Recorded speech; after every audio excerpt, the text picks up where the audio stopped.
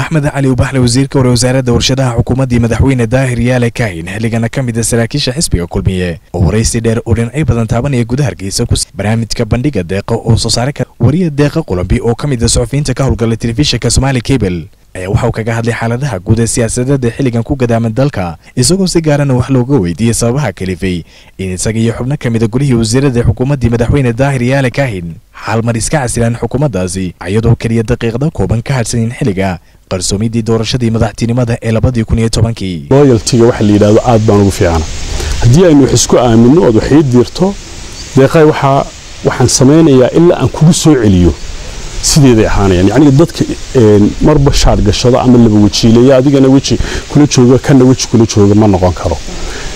Waan ogaa strugalka walkulmiya ku jiro iyo sida qofka dowladda markaa mansabka ka qaatay uu u yahay qof aan bulshada ku jirin laakiin anigu maadaama aan casiimadeyda ama go'aanadayda anigu leeyahay geesinimadeyda leeyahay ikhtiyaarkayga leeyahay waxaan jecelahay iyo waxaan anigu necabahay anigu goosan karo waxaan sameeyey waxaan foors ilaa iyo saleebaan inaan ku yidhaahdo saleebaan booskaa waan qaadanaya waan qaadanayaa. Laakiin anigu wax waxyeelle idiin geysanaya oo dee idin burburinaya ma samaynayo laakiin de ninkaan u shaqeeyo ee wasiirka waa daacad baan u ahaanaya kii ii dirta shaqana daacad baan u ahaanaya laakiin aakhirkii madaxweyne daahir yaale kaahin wuxuu keenay in uu kambeynkan ku jirnay ee day and night ku jirnay ee weliba strugalka dadkii oo oo reeri majoritygii dhinac marayo inta kale aanu rabnay inaanu xejinno way suurtogeli weyde daad wax la yidhaahdo ayay mawjad bay noqotay mawjaddii wixii lagu hor istaagi lahaa. Waxay noqotay wax aad u adag. Madaxweyne daahir yaale kaahin anuu caynaba joogaan la soo hadlay waxaa ku yidhi madaxweyne sidan aynu iminka wax ku wadno doorashana ku heli mayno adna madaxweyne ku heli maysid. Markaa godob iyo gashi dee in xoolahayagiina baxaan oo for example dee anigu dhaqaalahaygii baan bixinayey xoolahaygiina inay baxaan oon ku qaamoobo dadkii aan ma garanaysaa degaankana aan ku noqdo wax la yidhaahdo godob ka galo oo la yidhahdo ninkii laga fallaagoobay dee labadu isma galaan. Marka waxaad samaysaa madaxweyne arrinta wax ka bedel. Waxa muuqatay inaanu markaa diyaar.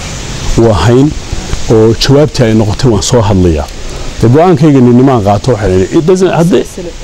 hadday last minute tahay iyo hadday ten minutes ka hadhay iyo hadday laba boqoloo minute ka hadhay meesha madaxweynihii wax rabayba mar haddaanu isagu diyaar ka ahayn. Marka saasaan horta uga baxay. Waxuu sidoo kale ka sheekayay siyaasaddiisa xilligan iyo halka ay ku wajahantahay isagoona si weyn ugu bogaadiyey. Gudoomiyaha xisbiga kulmiye ana musharaxa jegada madaxweyne ee xisbigaasi oo isagu xilligan ka mid yahay siyaasiyiinta dhisaysa. Ayaanu horta noqonaynaa xisbiga kulmiye dee wakhtigii aan anigu iyaga ka soo horjeeday kulmiye naftiisa ka soo horjeeday oo laga yaabo siddeetanka code lagaga badiyey inaanba ka mid ahaa ka shaqayntiisii way aqbileen. Marka maanta inay aqbili waayaan ilaahayba kama dhigee. Anaa riixayo waxaan leeyahay waa uu guulaysanaya xisbigayga soo baxayaan leeyahay.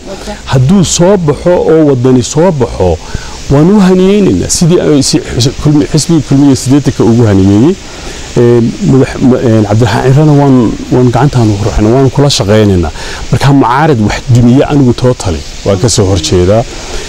Mucaaradku inuu noqdo anuu reer hebeela haddii shaadhka lay toli waayo dunidu way qarxaysaa. Runtii aad baan uga soo horjeedaa waxuu sidoo kale isbarbardhig ku sameeyey muslimiintii gacanta ku hayay. Hirgelinta waddada ceeri gaabo ka isaga ay u suurta gashay inuu inta ugu badan hirgeliya xilligan. Dee waddada madaxweyne siilaanya isaga inishatiifkeeda ama ictiqaadkeeda lahaa xirsi wasiir dee shaqo loo dirtay buu ahaa. Wasiirkuna wuxuu fuliyaa. Sidaan anigu u aqaano de haddaanu isagu wasiir ka gaara ahayn shaqada madaxweynuhu dirto marka haddaanu madaxweynuhu isaga shaqo u diran dee maba jireenba. Sideedoo kale u ahaan lahaa nin dee suuqa ka jooga. Marka madaxweynaha u dirtay shaqadii madaxweynuhu dirtay buuna qabanayay haddeer haddii ay dee hadalhaynteedu yar tahayna wakhtiyo dhoweyd oo miisaaniyadda dowladda iyo whatever dee reasonku ahaa ay hoos u dhacday oo aynu ognahay dee in ama xoolihii la joojiye ha noqoto ama wakhtigii doorashada soo dhawaadayoo xoogaa ma garanaysaa kaababkii yaraadeen ha noqoto ama lacagtii markii hore balajka ama lagu deeqay oo aan soo wada xiroon ha ahaato. Kolley dee waa laga yaabaa mar inay hakatay. Laakiin muddada uu xirsi waday iyo muddadu cali waday intay dhaqaaqday distanska anigu inta cali waday ee uu wasiirka ka ahaa ayaa dheer markaa de halkaasunbaabaad ka eegi kartaa. Faysal maxamed aadan faysal fifa t v-ga caalamiga somaali kebel magaalada hargeysa